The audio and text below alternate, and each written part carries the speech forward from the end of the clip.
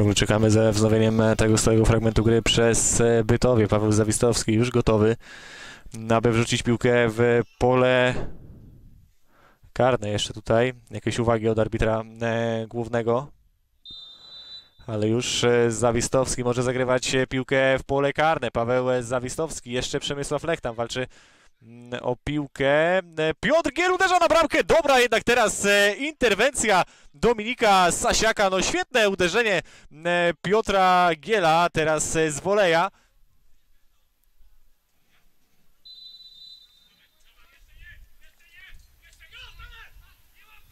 Zawistowski w pole karne, tam jest Mateusz Camargo!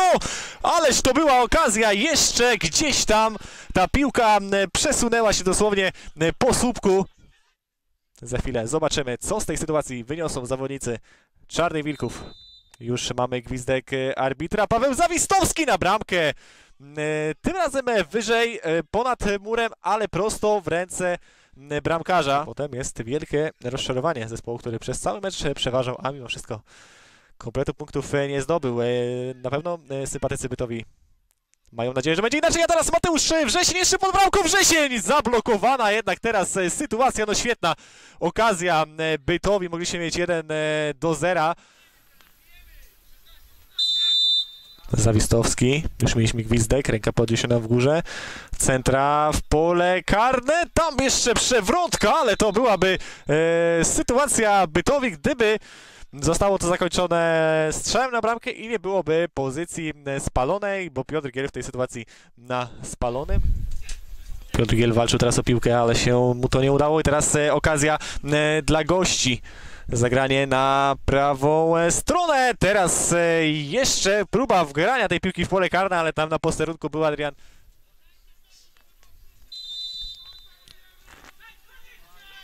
Zagranie w pole. Karne, tam jest Oskar Krzyżak i mamy 1 do 0, no świetne zagranie teraz zawodników Bytowi, tam w ogóle niepilnowany Oskar Krzyżak, no i mamy 1 do 0, premierowe trafienie młodego zawodnika Bytowi, świetnie urwał się na lewej stronie boiska, wszedł w pole karne, nie było tam pozycji spalonej, i świetnie sfinalizował to dośrodkowanie Pawła Zawistowskiego, Oskar Krzyżak i mamy 1 do 0 w 36 minucie tego meczu. Już na własną połowę wraca Oskar Krzyżak. Problemy z nogą, z tego co można było zauważyć w tych pierwszych 400 minutach tego meczu. Teraz cały czas przy piłce Bytowia za chwilę.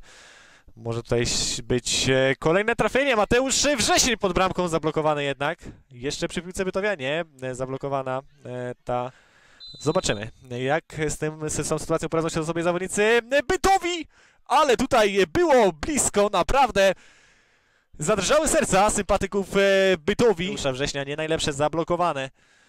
Chociaż wcześniej cała akcja wyglądała całkiem nieźle, ale teraz już przeniesienie gry na połowę Bytowi. Uderzenie na bramkę, dobrze jednak e, Krzysztof Bąk, jeszcze wycofanie Polkowski, ale tutaj ta piłka, gdyby była dochodząca do bramki, to wpadłaby na pewno w samo okienko bramki Adriana Olszewskiego, ale była odchodząca, odchodziła od e, słupka bramki Bytowi, no i wyleciała poza linię końcową boiska i od własnej bramki może rozpocząć e, grę. Mateusz Bochnak, Bochnak na prawą stronę. Filip Karmański. Karmański uderza na bramkę i piłka prosto w rękach Adriana Olszewskiego. Z dystansu uderzał teraz e... zagranie na bramkę, uderzenie na bramkę, jednak e... bardzo dobra interwencja Olszewskiego. Na lewej stronie boiska teraz e, piłka, znaleźli tutaj Polkowskiego. Polkowski przed pole karne, ale tutaj Ponowny, ponownie było blisko, jednak jeszcze pozycja spalona jednego z zawodników błękitnych. Stara się dotrzymać się tempa kolegom z, z drużyny.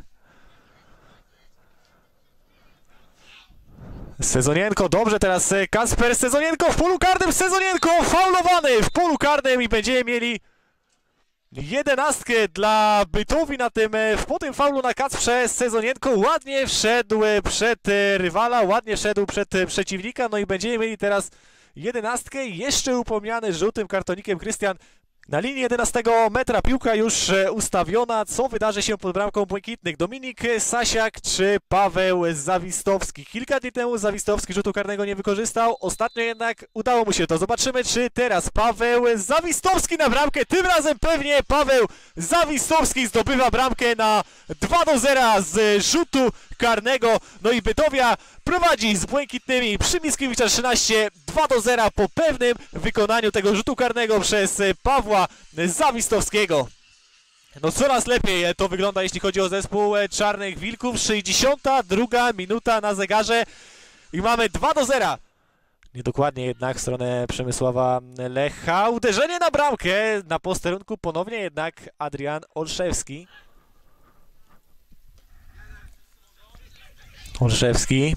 Dalekie zagranie piłki w stronę Piotra Giela. Piotr Giel jeszcze pusta bramka. Teraz Giel na bramkę i jest 3 do 0 dla Bytowi. Piotr Giel wykorzystał to słabe zagranie teraz zawodników błękitnych Stargard. No jest 3 do 0, nawet Adrian Olszewski idzie cieszyć się, celebrować tę bramkę razem z Bytowią. Bardzo ostry kąt teraz przy tym uderzeniu Piotra Giela, ale Piotr Giel już nie raz pokazywał w tym sezonie, że potrafi strzelać gole z pozycji prawie niemożliwych, prawie niewykonalnych. Tak było w tej sytuacji też bardzo e, trudna sytuacja, ale jest bramka trzecia dla Bytowi, a zdobywa ją Piotr Giel. Sezonienko, dobrze, teraz Sezonienko, ale też Sasiak e, tutaj walczy o piłkę, jeszcze Sasiak. E.